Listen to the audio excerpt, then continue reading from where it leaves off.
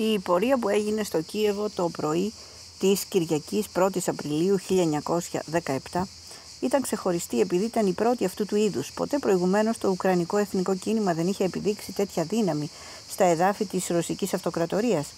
Όμως, λίγες εβδομάδες μετά την ανατροπή του Τσάρου Νικολάου του Δευτέρου από την Φεβρουαριανή Επανάσταση, τα πάντα έμοιαζαν εφικτά. Οι διαδηλωτές κρατούσαν μπλε και κίτρινες σημαίες για την Ουκρανία, κόκκινες σημαίες για τον σοσιαλισμό. Το πλήθος που αποτελούνταν από παιδιά, στρατιώτες, εργοστασιακούς εργάτες, μπάντες και αξιωματούχους, κρατούσε πανό με συνηθήματα όπως ελεύθερη Ουκρανία σε μια ελεύθερη Ρωσία ή χρησιμοποιώντας τον τίτλο ενός παλιού στρατιωτικού αξιώματος των Κοζάκων, ανεξάρτητη Ουκρανία με τον δικό της Αταμάνο. Μερικοί διαδηλωτές ύψωναν πορτρέτα του εθνικού ποιητή Τάρα Σεφτσέγκο. Ο ένας ομιλητής μετά τον άλλον καλούσε το πλήθος να στηρίξει την νεοδημιουργημένη κεντρική ράντα κεντρικό συμβούλιο που είχε συγκροτηθεί μερικές ημέρες νωρίτερα και τώρα διεκδικούσε την εξουσία να κυβερνήσει την Ουκρανία. Τελικά στο βήμα ανέβηκε ο νεοεκλεγμένος πρόεδρος της Κεντρικής Ράντα, ο Μιχάηλο Χρουσεύτσκι, Γενιοφόρος και με γυαλιά ήταν διανοούμενος που είχε θέσει πρώτος την Ουκρανία στο επίκεντρο του ιστορικού έργου του.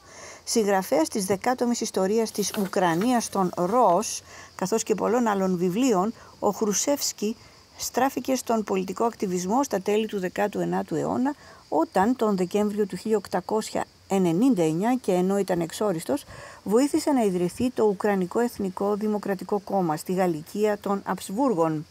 Το 1905 επέστρεψε στη Ρωσική Αυτοκρατορία, αλλά το 1914 συνελήφθηκε, εξορίστηκε και πάλι. Μετά την Επανάσταση επέστρεψε θριαμβευτικά στο Κίεβο. Τώρα το πλήθος τον υποδέχτηκε με ζητοκραυγές. Σλάβα Μπατκόβι Χρουστο... Χρουστσοφκόμου δόξα στον πατέρα Χρουσεύσκι. Ο Χρουσεύσκι απάντησε αναλόγως. Αυτή τη σπουδαία στιγμή Ας ορκιστούμε όλοι, σαν ένας άνθρωπος, ότι θα υπηρετήσουμε την μεγάλη υπόθεση ομόφωνα σε πλήρη συμφωνία και δεν θα επαναπαυτούμε ούτε θα πάψουμε να πασχίζουμε μέχρι να οικοδομήσουμε την ελεύθερη Ουκρανία. Το πλήθος ανταπάντησε. Ορκιζόμαστε.